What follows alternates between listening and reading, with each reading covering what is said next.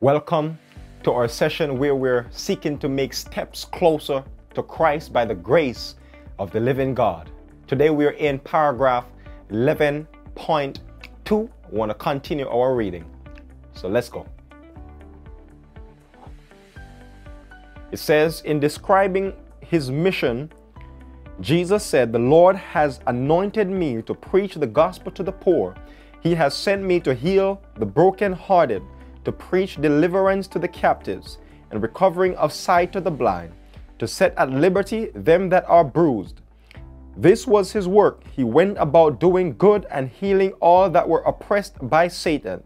There were whole villages where there was not a moan of sickness in any house for he had passed through them and healed all their sick. His work gave evidence of his divine anointing. Love, mercy, and compassion were revealed in every act of his life. His heart went out in tender sympathy to the children of men. He took man's nature that he might reach man's wants. The poorest and humblest were not afraid to approach him. Even little children were attracted to him. They loved to climb upon his knees and gaze into the pensive face, benignant with love. What a powerful uh, text that we just read.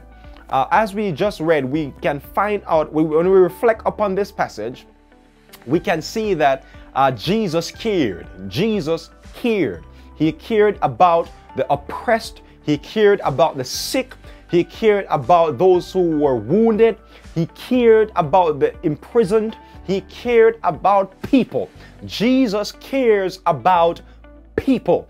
And we see that Jesus cares about you. The, the, the, the Ellen G. White says that you would look through a town and there was not even one person that was sick. I mean, what in the world? We see a whole village and people are just totally in health. That is God's ideal. That is what the Father is like. God is love. That was God's original plan that all of us, that all people would experience abundance of health and abundance of wealth.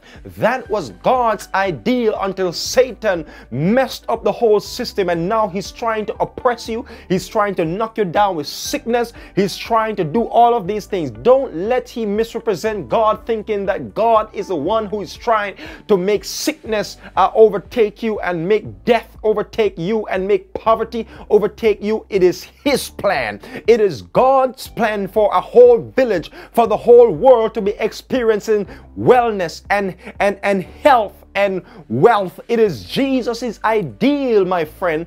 But because Satan is in this world, we have to face this suffering. But I want to look at Jesus as we reflect to show that Jesus cares about you also. Jesus cared about people then, and he also cares about people now, and he cares about you. He cares about your financial situation.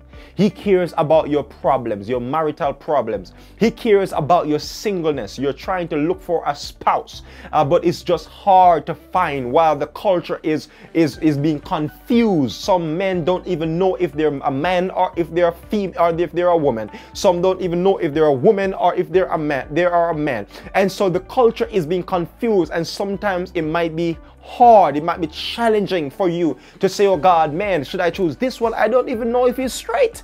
Uh, but I want to encourage you that Jesus cares. He wants to lead you, He wants to direct you, He wants to be there for you. So don't worry because Jesus got your back. Jesus wants to bring you through this one because Jesus cares. That is who the Father is. He is love, He cares about he, you, He loves you, and will take care of you. God bless, and I'll see you next time. But before I see you, actually, I want to pray for you. Father God, I pray that you will uh, bless someone that is watching, oh God Almighty. I don't want to jump off too quick without praying for a person who is going through it right now.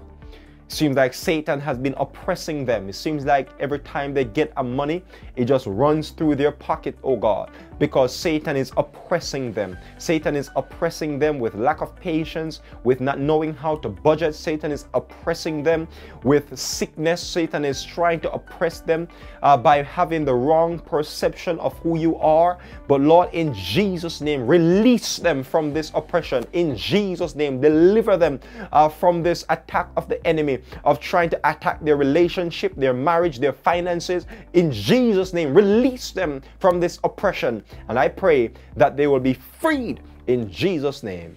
Amen. God bless, and I'll see you next time.